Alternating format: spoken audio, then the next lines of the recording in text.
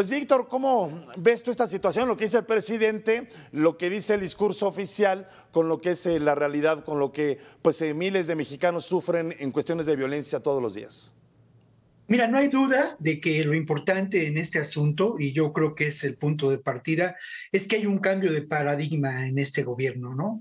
No hablamos ya más de la guerra del narco, esto es muy importante, sino hablamos de la construcción de la paz. Es cierto que hace falta mucho camino por recorrer, porque al final de cuentas la cifra que has dado hace un minuto, Leonardo, pues es enormemente preocupante, ¿no? 130 mil personas asesinadas en este año.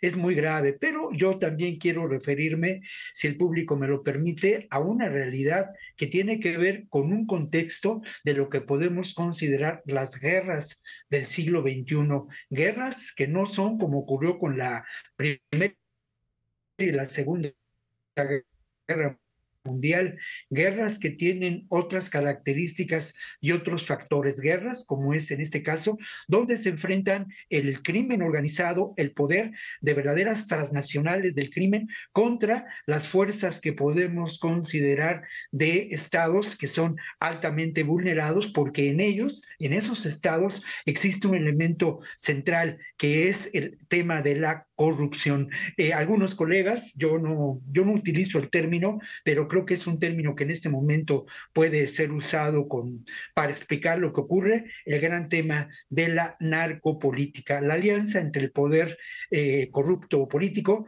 y el poder criminal, Leonardo. Creo que este es un tema que, sobre el que se tiene que trabajar más arduamente. Pues exactamente esa eh, frase de eh, narcoestado que pues ya muchos se espantan y muchos dicen que no, no estamos viendo un narcoestado, pero ¿cómo podemos llamar esta situación, esta nueva guerra que precisamente usted está comentando, donde eh, pues el crimen organizado está metido en todos lados, está metido en, en, muchos gobiernos, está metido en muchos comercios, está metido en muchas ciudades. Entonces, ¿cómo se puede llamar esta situación que estamos viendo a esta nueva guerra?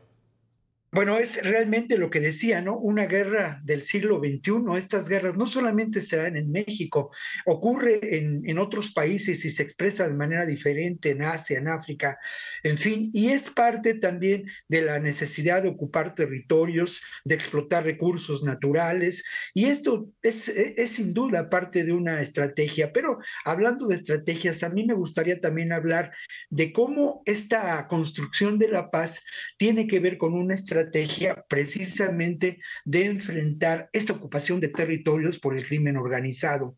La eh, instauración de la Guardia Nacional es discutible en muchos sentidos, pero también nos remite a ese intento de abarcar el territorio nacional, de establecer cuarteles en diferentes entidades para tratar de contrarrestar esta ocupación del territorio por el crimen organizado.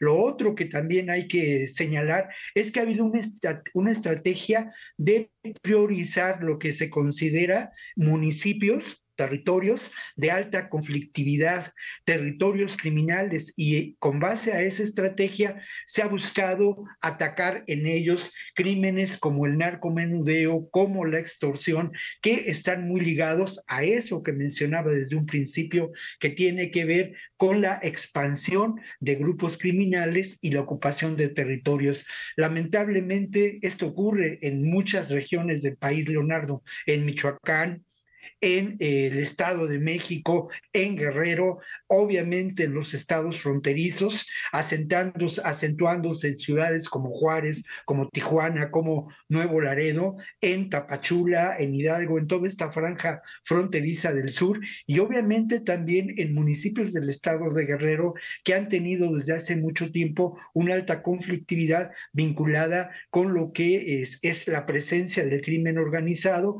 aliado a esta realidad de la narcopolítica y a los viejos casicazgos. El tema de hoy no es eh, para nada el la desaparición de los 43 estudiantes de, de Ayotzinapa, pero lo que ocurría en Iguala en ese entonces era precisamente ese control del territorio por fuerzas del crimen organizado en alianza con fuerzas criminales y con viejos caciques.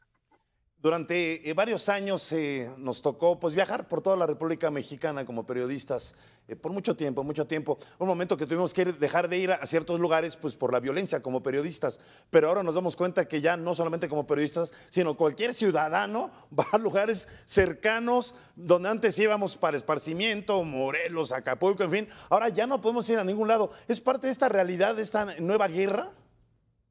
Es parte de esa realidad, Leonardo, y sí tenemos que lamentar el estado de vulnerabilidad en que nos encontramos. Es innegable que esto ocurre, ¿no?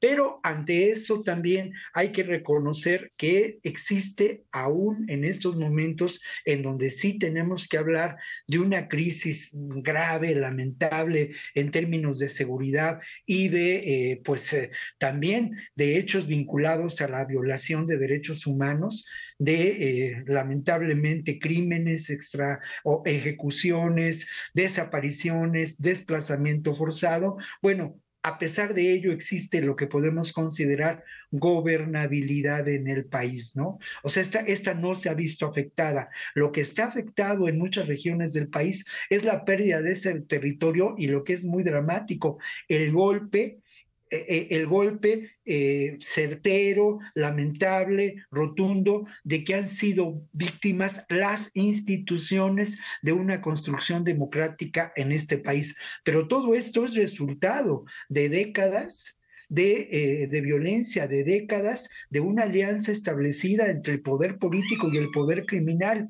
Esa alianza se dio sin duda en los últimos 40 años, Leonardo. Cada sexenio escuchamos lo mismo por parte eh, de los eh, mandatarios, de las principales autoridades, que vamos muy bien, que se está venciendo al crimen organizado, pero si nos vamos a los números, pues eh, vemos otra cosa completamente diferente. Y eso generalmente pues causa como una decepción, es decir, no sabemos qué nos va a esperar en un siguiente gobierno. ¿Será lo mismo si nos vamos a las estadísticas, si nos vamos a las matemáticas? Mira, yo creo, Leonardo, que en principio parecería que tienes razón, pero insisto, solo parecería, porque aquí hay tres eh, elementos fundamentales, ¿no? Un cambio de paradigma. No hablamos más de la guerra del narco. Hay una estrategia diferente y esa estrategia tiene que ver con la ocupación del territorio por parte de la Guardia Nacional.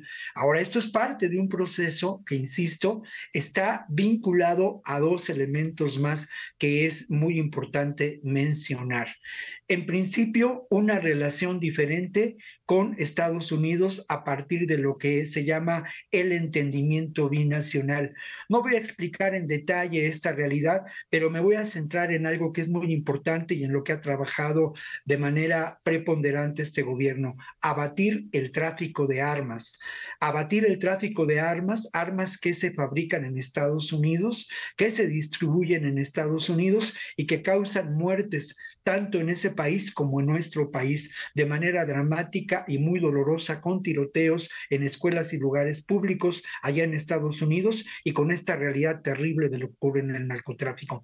En ese entendimiento binacional, México exige a Estados Unidos terminar con lo que puede considerarse la tolerancia a los fabricantes de armas. Hay dos demandas internacionales interpuestas en estos momentos eh, por parte del gobierno mexicano contra los eh, fabricantes de armas y los distribuidores de armas, asentadas una en Boston y otra en la región de Arizona.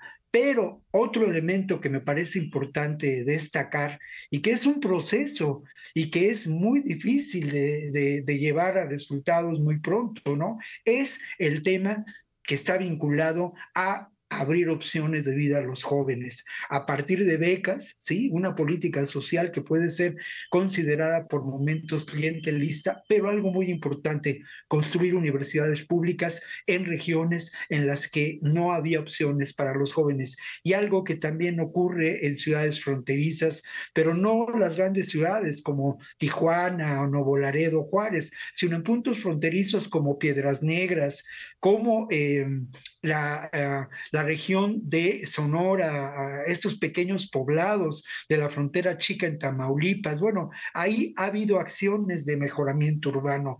Ahora, ¿Qué, falta por hacer? Bueno, lo que falta por hacer es precisamente trabajar de manera contundente y con una estrategia sólida para terminar esta alianza entre el poder político criminal y los grupos criminales. Eso existe en muchos municipios de nuestro país, lo mismo en Veracruz que en Guerrero, lo mismo en las fronteras, lo mismo en el Estado de México.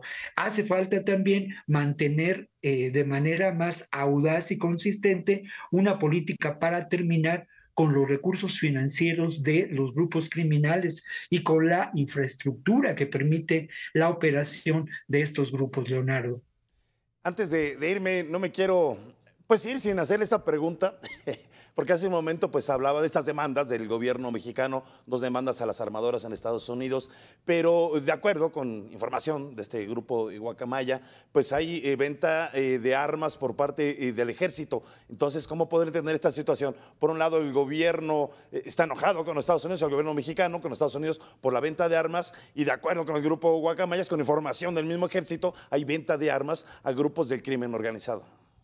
Bueno, sin duda, eh, el, ejército, las Fuerzas Armadas también padecen de este terrible mal de la corrupción, pero la comparación entre las ventas de armas establecidas o denunciadas por este grupo y eh, el gran negocio de, de los grupos y fabricantes de armas en Estados Unidos es mucho menor, ¿no? O sea, no, nada que ver. Lo que ocurre realmente es que este es un gran negocio para los fabricantes de armas en Estados Unidos y ha sido una bujía de la economía de eh, Estados Unidos ah, después de la Segunda Guerra Mundial. Esto es, esto es una realidad y es muy importante que se abata ese tráfico de armas y que se controle la venta de armas, eh, no solamente, digamos, a nivel de México y de Estados Unidos, por lo que he mencionado, sino a nivel mundial.